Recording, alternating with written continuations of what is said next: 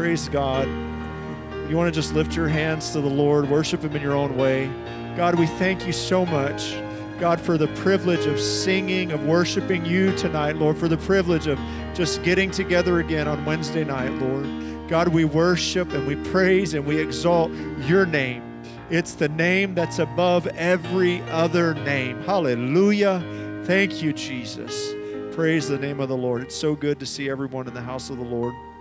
Tonight, I'm going to begin um, with prayer. We're just going to ask the Lord to bless, uh, to be with us. There's a host of needs. Um, I do ask you to continue to pray for uh, Charlotte Wagner. Ask the Lord to touch the need that's there. She's in the hospital right now. God has already touched, but we want Him to continue that work that's there. I know you prayed uh, for Jimmy uh, this morning and throughout this day, and we're grateful uh, for those prayers. Uh, my brother in law, Stephen, um, he's in our Facebook community group, and he's actually going for a heart procedure in the morning. So I do ask that you would uh, just pray for him. Ask God to move in those needs. And I know that there are a host of needs that are here tonight. We want to pray for those. And then also, um, let's just ask God to talk to our hearts um, tonight. What I'm going to talk to you about tonight, it's going to be a part of a series that I'm doing with some um, other classmates that are part of our uh, of the class that I'm taking right now, and I'll post the links to their sermons if you want to watch them in our Facebook community group. And I know that the Lord will bless you. Let's pray for these needs and pray that God will talk to us tonight, and then we're going to read Scripture, and then we're going to get into the Word of the Lord, and then once we're uh, done, we'll pray like we usually do on Wednesday nights. Would you pray with me? Heavenly Father, thank you so much, God, for allowing us uh, to meet together again.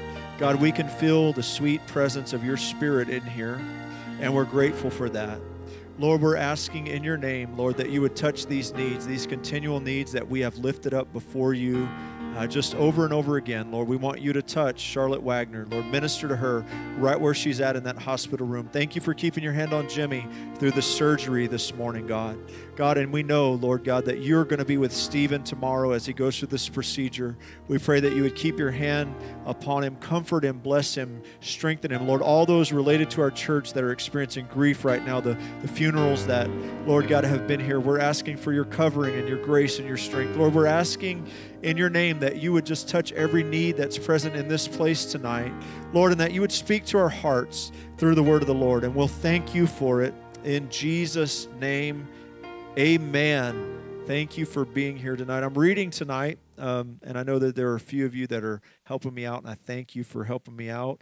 Um, critiquing my sermon, and I appreciate all the feedback that you gave me um, last week. Um, and so I'm reading from Matthew chapter number 5 tonight, Matthew chapter number 5, and beginning at verse number 11. Matthew chapter 5, verse number 11. And it reads I'm reading from the New Revised Standard Version Blessed are you when people revile you and persecute you and utter all kinds of evil against you falsely on my account. Rejoice and be glad, for your reward is great in heaven. For in the same way they persecuted the prophets who were before you. You are the salt of the earth, but if salt has lost its taste, how can its saltiness be restored? It is no longer good for anything, but is thrown out and trampled underfoot. You are the light of the world. A city built on a hill cannot be hid. No one, after lighting a lamp, puts it under the bushel basket, but on a lampstand, and it gives light to all in the house. In the same way, let your light shine before others, so that they may see your good works and give glory to your Father in heaven. This is the word of the Lord. Thank you so much for standing so long. You can be seated. I'm going to talk to you on the topic tonight like parent, like child. We probably all heard it. Sometimes we've said it. Um, like father, like son, like mother, like daughter. It's something that has been repeated down through the years. And actually, as I looked at it over many cultures, uh, many uh, different people groups, and this particular saying, what it says to us is oftentimes, whether it's nurture or nature, whether it's uh, genetics or training, whether it's the way we raised our children or just the way that they came out, so often when we look at a child, we can see imprints and impressions of their parents in them. Like parent, like child. In our text this evening, one of the things that it says at the very end is that when those that are around us in the world see our good works, that they will glorify our Father who is in heaven. Our Father, everybody said Father. This phrase, Heavenly Father, is repeated over and over again in the Gospel of Matthew, and in particular, it's repeated in the Sermon on the Mount. Jesus is continually going back to this idea that the disciples are a part of a kingdom over which God reigns. And they're not just uh, subjects in the kingdom, but they're actually children of the kingdom. He goes on and he says that those who are a part of this kingdom, as he introduces it, are those who are happy. Somebody said happy we often, in most of our English translations, even those contemporary ones, they translate that word blessed or blessed in that way. But who even knows what blessed means? Oftentimes we just say, I hope you're blessed. I want you to be blessed. But at its root, this word blessed, and some translations just translate it happy. Happy. The only way, the old song says, the only way to be happy in Jesus is to trust and obey. The way the Sermon on the Mount begins is telling us, you know what? You can be happy. And this happiness, it doesn't necessarily depend on what uh, the people of the world think that it should depend on, but it depends on these principles upon which you build your life when God is your Father. Those Beatitudes that we call them, that are right before our text and that give us the background for this text. Blessed are the poor in spirit, and blessed are uh, the, those who mourn, and blessed are the meek, or happy are the poor in spirit, or happy are those who mourn, or happy are the meek, or happy are those who hunger and thirst after righteousness, for they will be filled. Happy are the merciful, for they will obtain mercy. Happy are the pure in heart, for they are the ones that will see God. Happy are the peacemakers for they will be called the children of God. And then happy are those who are persecuted for righteousness' sake. And then our text picks up in verse number 11. And it just begins to play out those internal attitudes. Somebody said attitude. It plays out those internal attitudes and it says these internal attitudes and these, these ways of thinking about life, they lead to happiness and they lead to good works. And those good works produce happiness in the here and in the hereafter. I think Christians ought to be the happiest people that there are. When I think about God, I, I, think about God smiling. He smiles on us each and every day when we wake up and the sun shines on us. He smiles on us when we've been going through a drought and difficulty, and the grass has been dying, and uh, the the the uh, tomato plants are shriveling up, and then the next thing you know, uh, He pours out the rain on us. He's smiling. God is a God who delights, the Bible says, and giving us the kingdom. God is a God who pours out blessings upon us daily. The writer said that He daily loads us with benefits we ought to be happy. There ought to be an internal attitude that makes us look different to the world around us. Jesus talks about two different things when he describes the difference that we ought to be able to portray in the world around us. He mentions salt and light. Salt and light. He says, You're the salt. You're the salt. You're the salt of the world. You're the light of the world. You know, we're called to both. Somebody said both.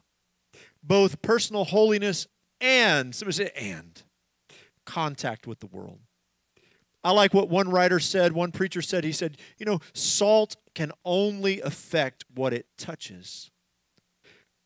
God isn't calling us, and Jesus isn't calling us in this text to be hidden away somewhere where nobody sees to just allow our life of doing the good works that we do just to cause us uh, to be a picture of personal piety where someone looks from the outside and they said wow that's a really good person and look at them they are so righteous. That's not what jesus is calling us to. At the end of his text he says when they see the way you live when your salt is giving flavor and preservation and, and when your salt is, is doing its job and when your light is shining as god wants it to they'll see your heavenly father. They won't see you. They'll see your heavenly father.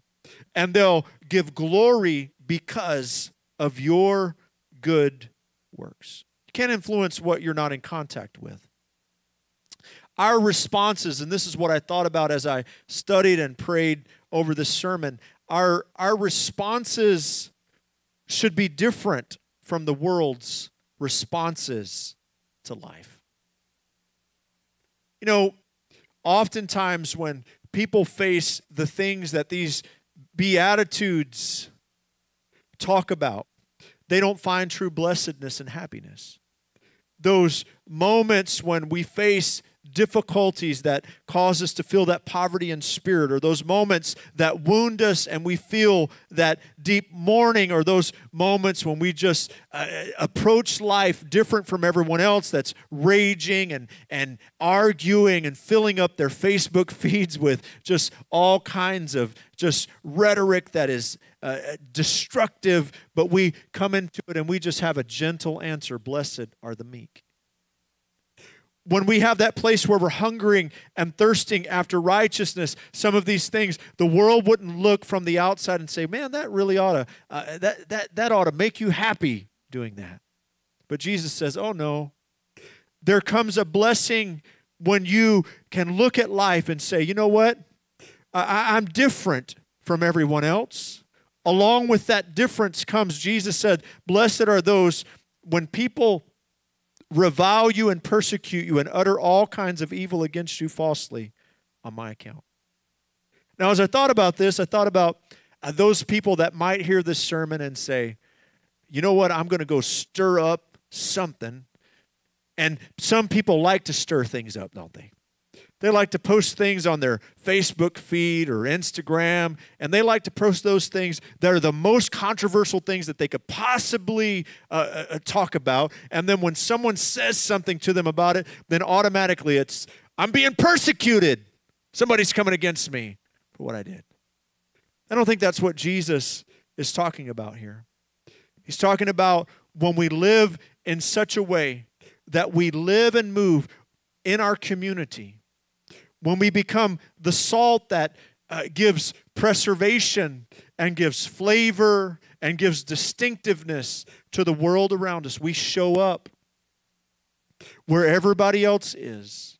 And the light, when we begin to shine, and light has a way of shining into the world around us.